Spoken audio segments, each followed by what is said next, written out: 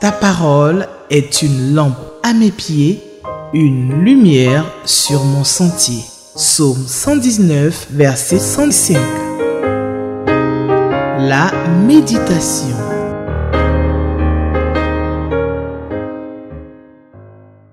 Téléspectateurs d'Espérance TV, je vous salue dans le merveilleux nom de Jésus-Christ de Nazareth, notre Sauveur et notre Seigneur. Je me réjouis de méditer la parole de Dieu avec vous et le texte que nous propose le lecteur de la Bible pour la méditation du samedi 20 avril 2024, c'est celui de 2 Corinthiens, le chapitre 1, verset 1 à 11. 2 Corinthiens chapitre 1, verset 1 à 11. Nous allons prier pour demander à Dieu de nous donner de comprendre sa parole. Prions. Nous bénissons ton nom, toi qui es Dieu et qui chaque jour parle aux hommes et bien plus à tes enfants. Nous sommes à ton écoute. Parle-nous, s'il te plaît, pour que ta parole nous oriente et nous donne de comprendre ce que tu veux de nous. Merci de le faire au nom de Jésus. Amen. 2 Corinthiens chapitre 1, versets 1 à 11, c'est le texte de la méditation du samedi 20 avril 2024. Nous faisons la lecture du texte. Paul, apôtre de Jésus-Christ par la volonté de Dieu, et le frère Timothée salue l'Église de Dieu qui est à Corinthe, ainsi que tous ceux qui appartiennent à Dieu dans l'Achaïe entière. Que la grâce et la paix vous soient données par Dieu notre Père et par Jésus-Christ le Seigneur. Verset 3. Béni soit Dieu, le Père de notre Seigneur Jésus-Christ, le Père qui est plein de bonté, le Dieu qui reconforte dans toutes les situations. Il nous reconforte dans toutes nos détresses afin qu'à notre tour, nous soyons capables de reconforter ceux qui passent par toutes sortes de détresses en leur apportant le reconfort que Dieu nous a apporté. De même, en effet, que les souffrances du Christ surabondent dans notre vie, surabonde le réconfort qu'il nous donne. Si donc nous passons par la détresse, c'est pour votre réconfort et votre salut. Et si nous sommes réconfortés, c'est pour que vous receviez vous aussi du réconfort, afin de pouvoir supporter les mêmes souffrances que nous endurons. Verset 7. Et nous possédons à votre sujet une ferme espérance, car nous savons que si vous avez part aux souffrances, vous avez aussi part au réconfort. Il faut en effet que vous sachiez, frères, quelle détresse nous avons connue dans la province d'Asie. Nous étions écrasés, à bout de force, au point même que nous désespérions de conserver la vie nous avons accepté en nous-mêmes notre condamnation à mort.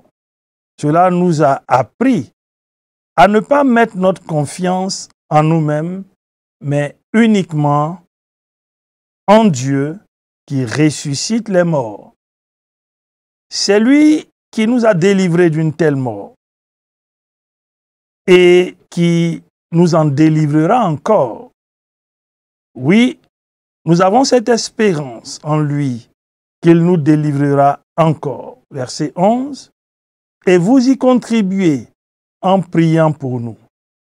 Ainsi, la grâce qu'il nous accorde en réponse aux prières de beaucoup sera aussi pour beaucoup une occasion de remercier Dieu à notre sujet. Amen. 2 Corinthiens chapitre 1 versets 1 à 11, c'est le texte de la méditation du samedi 20 avril 2024. L'apôtre Paul, qui est l'auteur de cet épître, s'adresse à l'église de Corinthe. Et cette église qu'il a fondée et dont il est un peu le père spirituel, cette église tient au cœur de Paul. Et Paul, dans son action, adresse cette première lettre pour échanger sur des questions importantes. Et la deuxième qui fait l'objet de notre méditation donne à Paul de répondre à un certain nombre de préoccupations relatives à son ministère, à son apostolat et surtout, surtout à sa carrure en tant qu'apôtre qui peut défendre la foi qu'il professe et qui ne se laisse pas marcher dessus par des personnes qui n'ont pas la compréhension des Saintes Écritures. Paul commence son adresse par une salutation. Et dans cette salutation, il se présente, il s'identifie et il donne des informations importantes sur ce qu'il est. Paul, dit-il, apôtre de Jésus, non pas par la volonté des hommes, mais par la volonté de Dieu. En fait, Paul ne s'est pas autoproclamé apôtre. Paul ne s'est pas fait appeler apôtre pour le plaisir. Paul n'a pas cherché même à se faire appeler pour apôtre, mais il a été appelé par Dieu et c'est Dieu qui l'a qualifié, qui l'a mis à part et qui lui donne de pouvoir œuvrer dans la dimension d'apôtre. Il tient donc son apostolat de Dieu.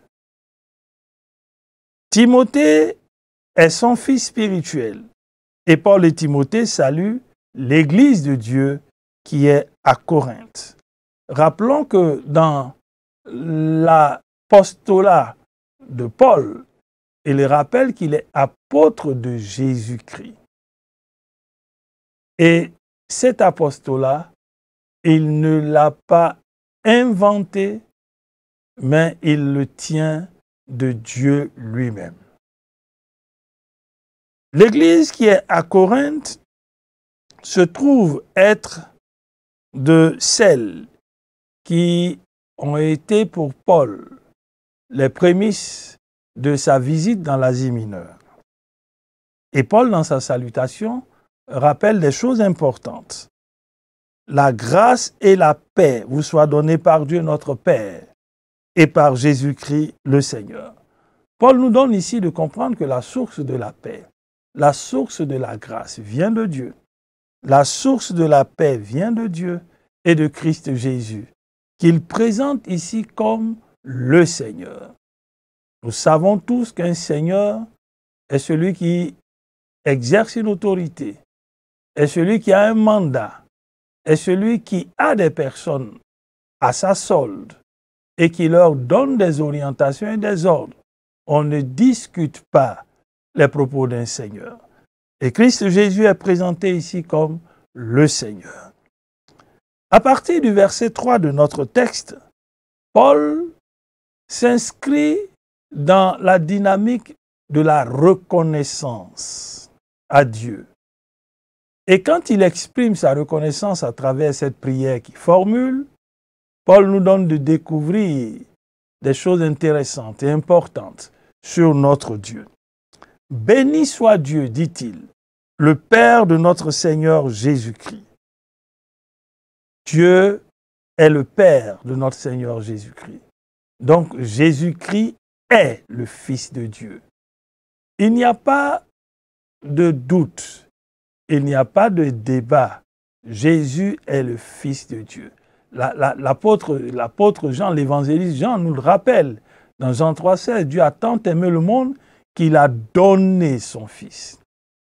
Et Paul rappelle que notre Seigneur a pour Père le Dieu dont Paul est le serviteur.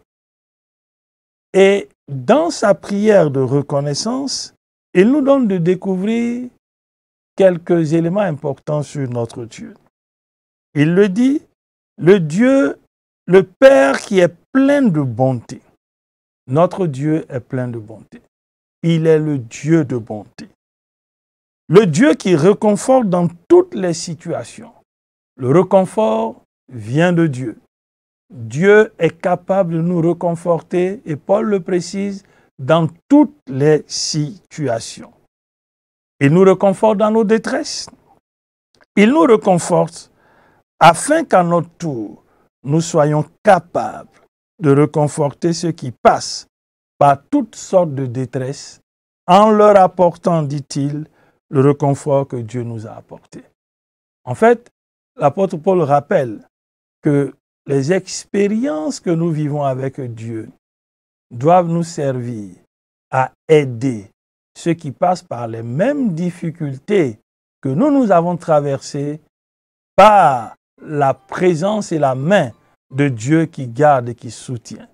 Chers frères, chères sœurs, sais-tu que Dieu est plein de bonté?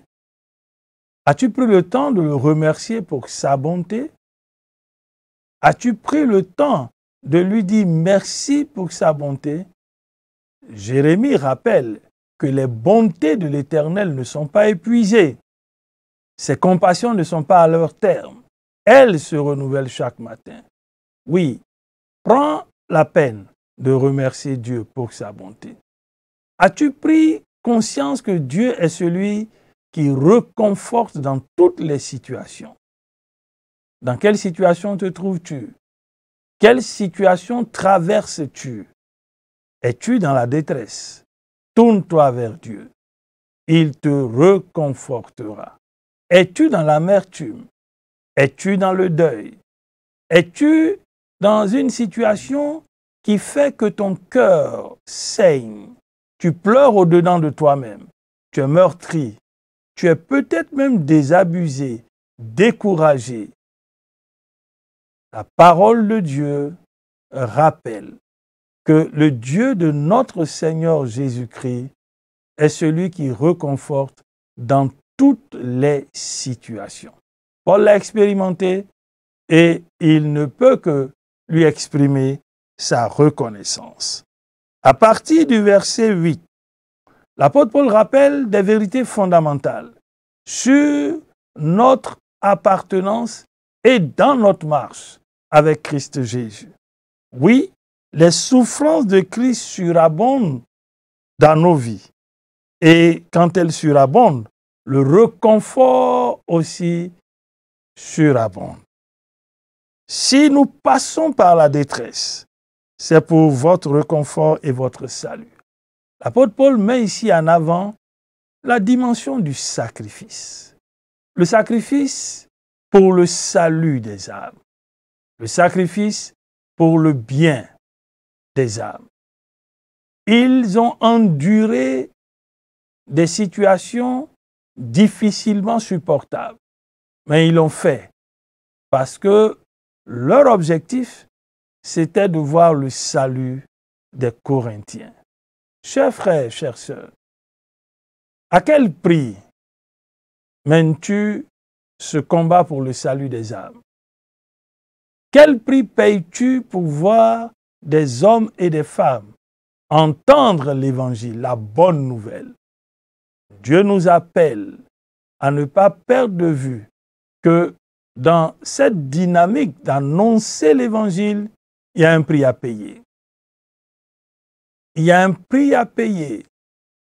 Et Paul rappelle que c'est au prix de souffrance et de détresse que le salut est parvenu aux frères et aux sœurs de l'église de Corinthe. Et c'est parce que le Dieu qu'il a appelé est capable de réconforter que Paul rappelle qu'ils ont dû faire face à des situations qui frisaient la mort. Mais puisqu'ils avaient le réconfort du Père, ils sont allés jusqu'au bout. Chers frères, chères sœurs, ne désespère pas ne te décourage pas. Ne rebrousse pas chemin. Si c'est Dieu qui t'a appelé à le servir, sache qu'il ne t'abandonnera pas. Sa main qui reconforte sera toujours en action pour toi. Et tu le sentiras. Et tu, le, tu vivras ce réconfort. Et tu témoigneras combien Dieu est bon. Et Paul rappelle que c'est justement le réconfort de Dieu qui nous donne de supporter les souffrances, les difficultés. C'est ce réconfort de Dieu qui nous donne d'avancer étape par étape. À partir du verset 7, l'apôtre Paul aborde un autre aspect important de cette adresse à l'église de Corinthe.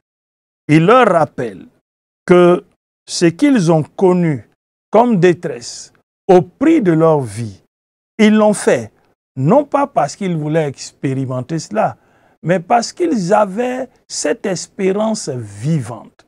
Oui, c'est elle qui peut donner à chaque chrétien d'aller jusqu'au bout, envers et contre tout. Quelle est l'espérance qui anime ta vie, ta marche avec Dieu Cette espérance vivante de ce que Jésus revient. Le salut est pour nous et il vient chercher une église glorieuse, une église pure. Cette espérance vivante dans le retour de Jésus doit nous conforter et nous reconforter, sachant que ce que nous faisons pour Dieu n'est pas vain.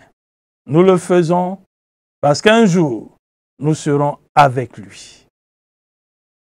Plusieurs personnes n'ont pas cette espérance.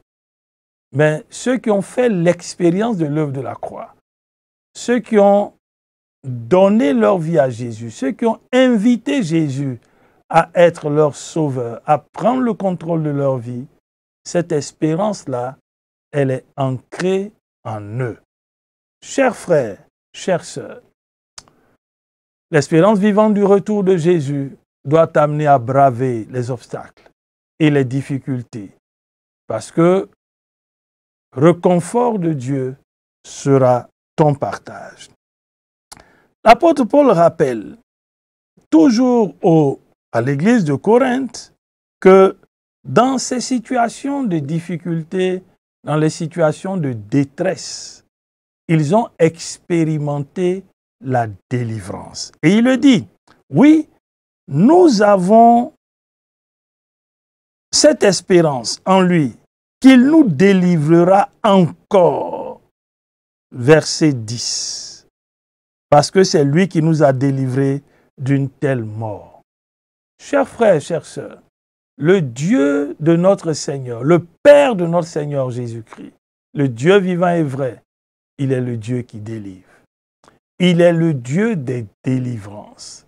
Dans quelle situation te trouves-tu? Notre Dieu est le Dieu des délivrances. Et le psalmiste rappelle que ce Dieu-là, il est celui qui brise les portes de bronze, qui fait voler en éclats les verrous de fer. Dans le psaume 107, le verset 16.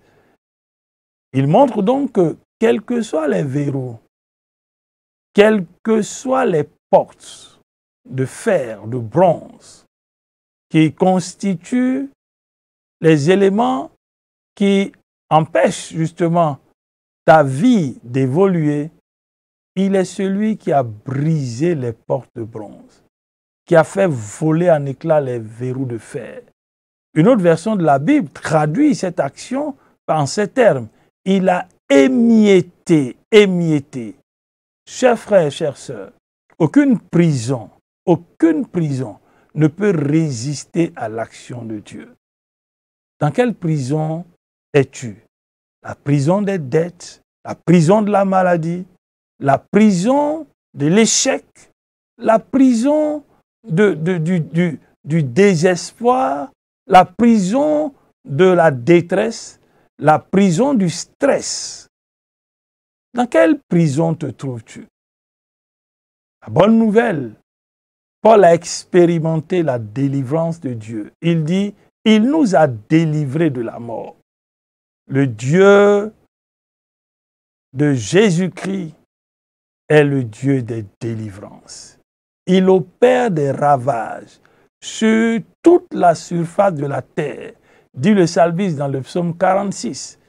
Il le dit, venez et contemplez les ravages que l'Éternel a opérés sur la surface de la terre.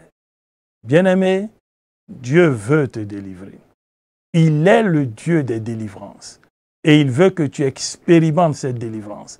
C'est pour cela que Paul dit avec force aux Corinthiens, à la fin de cette prière, ainsi, la grâce qu'il nous accorde en réponse aux prières de beaucoup sera aussi pour beaucoup une occasion de remercier Dieu à notre sujet. Il est le Dieu qui répond aux prières. Oui, ne te lasse pas de crier à lui. La Bible dit dans Ésaïe 59, non, non, non. Les oreilles de Dieu ne sont pas trop dures pour nous entendre, ni sa main trop courte pour nous sauver. Il est le Dieu qui écoute la prière. Le psalmiste le dit dans le psaume 65, le vers 3, Toi qui écoutes la prière, tous les hommes viendront à toi. Paul dit, en réponse aux prières, oui, crie à lui, parle-lui, il te répondra certainement et tu le glorifieras et tu témoigneras de ce que ce Dieu répond aux prières. Qu'allons-nous retenir pour notre prière? Nous allons bénir notre Dieu de ce qu'il est le Dieu bon, dont la bonté dure toujours. Il est le Dieu qui reconforte. Il est le Dieu qui sauve. Il est le Dieu qui délivre. Il est le Dieu qui répond aux prières. Bénissons son nom pour cela. Et allons au cours de cette journée avec ces éléments importants qui nous parlent de ce que Dieu est, qui nous indiquent ce que Dieu est, et bénissons son nom. Prions le Seigneur. Nous te sommes reconnaissants, notre Dieu, notre Père. Ta parole est la vérité. Et tu nous rappelles encore que c'est toi qui appelles, c'est toi qui qualifies, c'est toi qui envoies, c'est toi dont la bonté se manifeste pour nous chaque jour. Merci pour ta bonté. Merci pour le réconfort que tu nous accordes. Merci pour euh, la délivrance ou les délivrances que tu opères. Merci de ce que tu réponds aux prières. Tu es digne de confiance. Donne-nous d'avoir les regards fixés sur toi et donne-nous surtout de ne pas perdre de vue que nous marchons dans l'empreinte des pas du Dieu qui nous donne la victoire. À toi la gloire pour l'œuvre que tu as accomplie pour nous. Au nom de Jésus-Christ. Amen. Merci, chers téléspectateurs, pour votre écoute. Nous nous retrouverons, Dieu voulant, très bientôt. Shalom. Ta parole est une lampe à mes pieds, une lumière sur mon sentier. Psaume 119, verset 105. La méditation.